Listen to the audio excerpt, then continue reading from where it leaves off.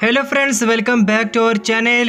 And दोस्तों, अगर आपके पास Xiaomi का Mi A3 का डिवाइस है सो गाइज़ फाइनली आप देखेंगे आपको Mi A3 डिवाइस के लिए लेटेस्ट न्यू अप्रैल का अपडेट रोलिंग आउट होना चालू हो चुका है। एंड दोस्तों, इस अपडेट के बाद क्या कुछ आपको चेंजेस देखने को मिल जाते हैं कौन कौन से पुराने बग्स को फिक्स किया गया साथ ही दोस्तों बात करेंगे कौन से कैमरे में न्यू फीचर्स आपको देखने को मिला है कि नहीं मिला है। इसके अलावा दोस्तों, बात करेंगे आपको डायलर पैड में एटो कॉल रिकॉर्डिंग का फीचर्स मिला है कि नहीं मिला है, सारी जानकारी आज के वीडियो में हम बात करने वाले सो गाइज़ अगर आपके पास Xiaomi का Mi A3 का डिवाइस है। तो दोस्तों, इस वीडियो को शुरू से लेकर लास्ट तक ज़रूर देखते रहिए। तो चलिएगा शुरू करते हैं आज का वीडियो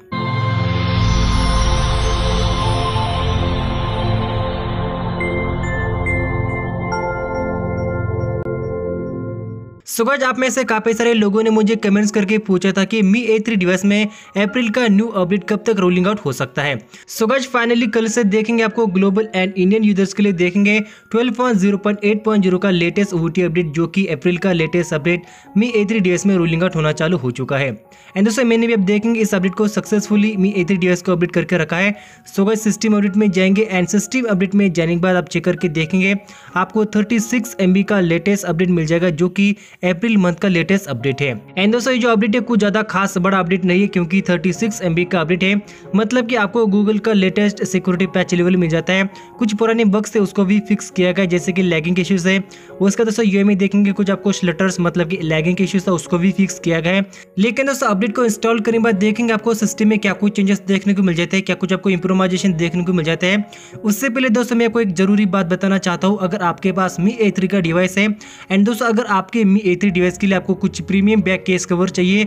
तो उसकी जो लिंक है मैंने आपको नीचे डिस्क्रिप्शन में प्रोवाइड किया है। सो so, अगर आपके मी ए डिवाइस के लिए अगर आपको best premium back case cover चाहिए तो डिस्क्रिप्शन में दिए गए लिंक से उसको परचेस कर सकते हैं। तो दोस्तों फाइनली मैंने अपने मी ए डिवाइस में अप्रैल का लेटेस्ट अपडेट जो की ट्वेल्व का लेटेस्ट अपडेट सक्सेसफुल इंस्टॉल करके देखा है। एंड दोस्तों अपडेट में जाने के बाद आप चेक करके देखेंगे आपको लेटेस्ट वर्जन के साथ अपडेट देखने को मिल जाएगा। साथ ही साथ दोस्तों हम अबाउट फ़ोन सेक्शन में जाने के बाद चेक करके देखेंगे आपको वर्जन में एन सिक्योरिटी पैच में क्या कुछ चेंजेस देखने को मिल जाता है। तो दोस्तों, नीचे के साइड में देखेंगे जो कि बिल्ड वर्जन आपको 12.0.8.0 का लेटेस्ट एंड्रॉइड 11 बेस आपको लेटेस्ट बिल्ड वर्जन मिल जाता है। साथ ही साथ दोस्तों, बात करेंगे आपको गूगल प्ले सिस्टम की जो अपडेट है, एक मार्च का लेटेस्ट अपडेट मिल जाता है। उसके बाद दोस्तों, बात करेंगे एंड्रॉइड सिक्योरिटी पैच लेवल जो कि आपको लेटेस्ट पाँच अप्रैल का एंड्रॉइड सिक्योरिटी पैच लेवल देखने को मिल जाता है, जो कि यार काफ़ी अच्छी बात है। तो दोस्तों सिस्टम में देखेंगे आपको ओवरऑल काफ़ी बेस्ट ऑप्टिमाइजेशन किया गया latest security patch level and Google Play Protect की वजह से। इसके बाद दोस्तों बात करेंगे बैटरी के बारे में। काफ़ी सारे लोगों की कमेंट्स आते रहते कि यार बैटरी परफॉर्मेंस इस अपडेट के बाद कैसा है? लेकिन दोस्तों, मुझे नहीं लगता कि इस अपडेट के बाद बैटरी बैकअप मतलब कि जो बैटरी का परफॉर्मेंस है ठीक ठाक देखने को मिल जाएगा।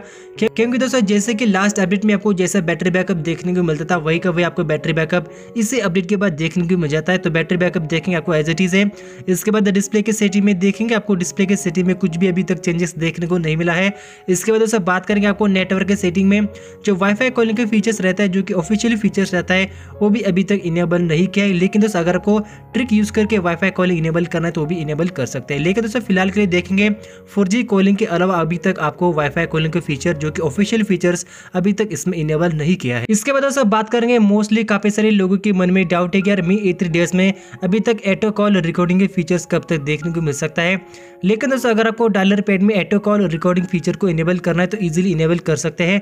क्योंकि दोस्तों, जो फ़ोन का जो डायलर पैड है मतलब कि गूगल का जो डायलर पैड है, उसमें देखेंगे बीटा के रूप में आपको एक अपडेट देखने को मिला है। तो सिंपल आपको जाना है प्ले स्टोर में एंड दोस्तों प्ले स्टोर में जाने के बाद जो गूगल का फ़ोन डायलर का अपलीकेशन है, उसको सिंपल आपको अपडेट करना है। एंड दोस्तों अपडेट करने से पहले देखेंगे, अगर आपने नीचे जो बीटा ऑप्शन रहता है मतलब कि बीटा डेवलपर का ऑप्शन रहता है, उसको ज्वाइन नहीं किया तो सिंपल उसको ज्वाइन कीजिए। एंड दोस्तों बीटा ज्वाइन करने के बाद फिर से ऊपर के साइड में एक अपडेट आएगा, उसको आपको सिंपल इनेबल करना है। एंड दोस्तों बीटा अपडेट करने के बाद आप देखेंगे आपको डायलर पैड में एटो कॉल रिकॉर्डिंग फीचर मिल जाएगा, जो कि आप किसी भी गूगल के डायलर वाले फ़ोन में इनेबल कर सकते हैं या फिर मी ए डिवाइस में उसको इनेबल कर सकते हैं। इसके बाद दोस्तों, काफ़ी सारे लोगों के मुझे अभी भी कमेंट्स आते रहते कि यार अपडेट इंस्टॉल करने के बाद मी ए डिवाइस में जो स्क्रीनशॉट कैप्चर करने का शॉर्टकट उसको यहाँ पर मिसिंग किया गया है। लेकिन दोस्तों, आप देखेंगे आपको जो स्क्रीनशॉट कैप्चर करने के लिए power volume down plus power button आपको सिंगल प्रेस नहीं करना है, बल्कि आपको लॉन्ग प्रेस करके रखना है। एंड दोस्तों लॉन्ग प्रेस करने के बाद आप देखेंगे आपको जो स्क्रीनशॉट यहाँ पर कैप्चर होता है। साथ ही साथ दोस्तों, आपको स्क्रीनशॉट कैप्चर करने के बाद शेयर प्लस आपको एक एडिटिंग का बटन मिल जाता है। सो एडिटिंग में देखेंगे और भी कुछ ऑप्टिमाइजेशन आपको देखने को मिल जाता है। एंड दोस्तों, इस अपडेट के बाद मुझे इस फ़ोन में एक इश्यू देखने को मिला है मतलब एक छोटा सा प्रॉब्लम देखने को मिला है।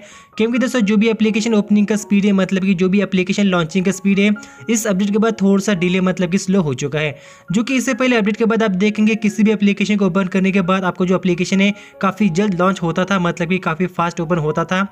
लेकिन इस अपडेट के बाद थोड़ा सा आपको स्लो देखने को मिल सकता है। इसके बाद दोस्तों, बात करेंगे इस अपडेट के बाद कैमरा कैसा ऑप्टिमाइज किया गया है।